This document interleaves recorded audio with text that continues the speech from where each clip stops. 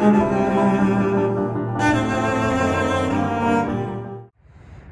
everybody, Happy New Year.